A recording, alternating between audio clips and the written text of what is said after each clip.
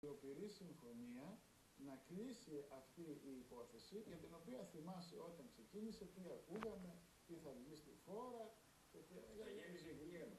Ναι. Από το μάθημα. Γιατί συμφωνώ με αυτό που λέει ο κ. Μητσοτάκης. Αν θέλει το πολιτικό σύστημα να σταματήσει να το φτύνει ο κόσμος έξω από τη Βουλή, πρέπει να προστατευτεί το ίδιο.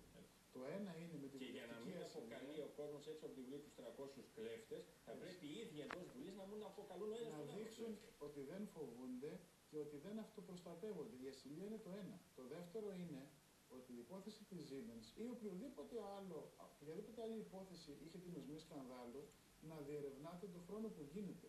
Όχι μετά από πέντε χρόνια όταν έχουν όλα ξεχαστεί, οι μισοί δεν είναι καν στη Βουλή, δεν μπορούμε να βρούμε στοιχεία και δεν μπορούμε να Κύριε, βγάλουμε κύριε Φιώτη, κάτι. είναι, είναι πολύ εύκολο να κάνουμε ορισμένα πολύ απλά πράγματα.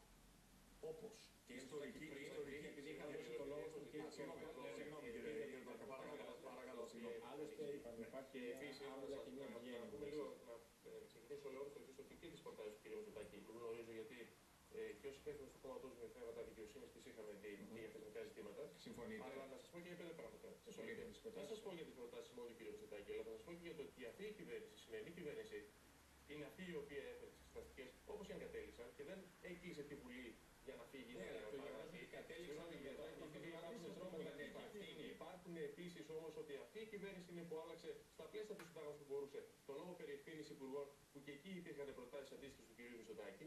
Αυτή η κυβέρνηση είναι που έχει αλλάξει τον κανονισμό της Βουλής και αυτή επίσης που παίρνει, φέρνει στον, στην Επιτροπή Θεσμών και Διαφάνειας πάρα πολλά ζητήματα και κυρίαρχα όσον αφορά ζητήματα ε, διαφάνειας.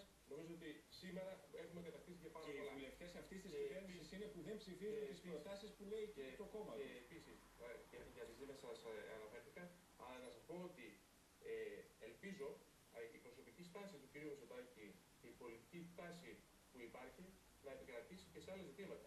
Και κυρίαρχα όμως να έχει επικρατήσει και σε κάτι ακόμα. Το κυρίαρχος, το κορυφαίο, στο οικονομικό και αν θέλουμε και στο μεσοπρόθεσμο και προηγούμενες οικονομικές, ε, οικονομικά στοιχεία που είχαν πει, ώστε τότε κάποιοι κατηγορούσαν την κυβέρνηση ε, για όλα, όλα αυτά που έκανε και ψήφισε και αποφάσισε. Πράγματα που ψηφίσαμε όμω για να μπορούμε σήμερα να είμαστε εδώ, να συζητάμε και να μπορούμε να πρέπει να κάνουμε Ναι, όλη βεβαίως. αυτή τη συζήτηση. Με αυτή την υπόθεση της Siemens κλείνει το κεφάλαιο σκάνδαλα για την κυβέρνηση του Πασόκ ή θα ακούσουμε μετά από δύο μήνες πάλι να ανοίξουμε μια εξεταστική για την οικονομία ή για οτιδήποτε άλλο που έχει κάνει η κυβέρνηση Καραμαλή για την οποία όλα τα αδικήματα γιατί στον παρόδο παραγράφονται Διότι η πολιτική ευθύνη για το πολιτικό μένει και καταδεικνύεται κάθε φορά. Αφήστε την Και πολιτική εκεί είναι που κρίνεται. Εγώ Από σας εκεί και ρωτάω πέρα αν όμως, θα στήσει η και άλλες κυβέρνηση του εξεταστικές Πασόκ, ή η κυβέρνηση του προανακριτικές. Πασόκ, με κάθε κίνδυνο και ευθύνη που ανέλαβε. Ανέλαβε και άνοιξε εξεταστικές. Εδώ πέρα μέχρι σήμερα έχουμε δει το αποτέλεσμα όλων αυτών που έχει γίνει. Σας λέω ότι, μέχρι, ε, ότι από εδώ και μπρος ο στόχος είναι ακριβώς αυτός. Να σταματήσουν όλα τα υπόλοιπα όσον αφορά Σταματά η διερεύνηση της περίοδου Κάθε- Καραμαλή ή όχι. Αυτό κάθε σας τι, ρωτάω. κάθε τι το οποίο έχει σκιά πρέπει να Δεν ανοίγει, θα γίνει καλός πρέπει να αυτός. ανοίγει, πρέπει να Μάλλον ανοίγει. θα γίνει. Κάθε Με τι, ρωτάς, αλλά κάθε πατέρα. τι έχει σκιά πρέπει να ανοίγει, να κρίνεται και κυρίως να κατατίθεται στον κόσμο, στους πολίτες οι οποίοι μας ψηφίζουν. Ναι. Αυτό μα λέω και για οποιαδήποτε περίοδο και για κάθε έναν ο οποίος ασχολείται με την πολιτική. Και γι' αυτό εξάλλου υπάρχουν και προτάσεις και για το πολιτικό σύστημα.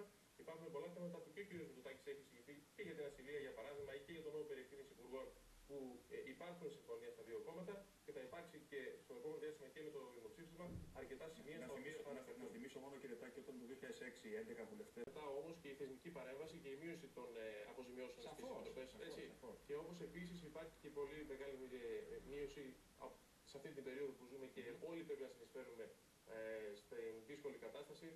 Υπήρξε λοιπόν Α, μείωση και σε αντίστοιχα Από άλλα πότε θα θέματα. σας δούμε στο Αλλά να διευθυντή σας πω, Εκπορ. να, να τελειώσω με κάτι για αυτό που λέει ο κ. Μητσοτάκης για το πόθεν έσχες.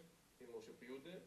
Είναι πρότασή μας να δημοσιοποιούνται και σε επίπεδο διαδικτύου και νομίζω ότι και ο κ. Μεσάλικος ο Και πρόεδρος Δόσκα, αν κινείται προς πάτε, αυτή την αν κατεύθυνση. πάτε σήμερα να διαφάνειας ζητήσετε, αν και πάτε σήμερα, αν πάει αξιοπιστίας. ένας πολίτης, και να το πείτε στον κύριο Πετσάλικο, αν πάει ένας πολίτης σήμερα να ζητήσει το δικό μου ή το δικό σας πόθεν έσχες από τη Βουλή ιστορικά, η Βουλή δεν θα του το δώσει. Αυτό είναι ντροπή και είναι παράδειγμα. Πάντως το βρίσκω Δεν εύκολο. το δει στους Δεν το βρίσκω δημοσιογράφους καθόλου που εύκολο. πολίτες θα το δώσουν. Λοιπόν, Ναι, μια αλλά τα τελευταία, έχετε κάθε χρόνο μια τα τελευταία αποτελέσματα. κουβέντα από εσάς. Πότε θα σας δούμε Όχι τα σε- πρώτα, τα έχετε. Όχι, Τα τα πρώτα. πρώτα. Πότε θα σας δούμε από το Σεπτέμβριο; Ε, Από το Σεπτέμβριο και μετά Μισές μέρες εσείς, μισές ο κ. Μόσχαλο. Αυτό γίνεται πάντα σε συνεννόηση. Εγώ να ευχηθώ καλή επιτυχία στον κύριο Τόρκο. Είναι νέο και συμπαθή και πολιτικό. Όλοι μαζί και καλή θα το χέρι. Και στο Βασίλη Τοχιώτη που έχει αναλάβει τη διεύθυνση του Δήμα FM και που φέτος ξεκινάει μια καινούργια προσπάθεια, Βασίλη. Ε, δυναμική; Δυναμική, ναι.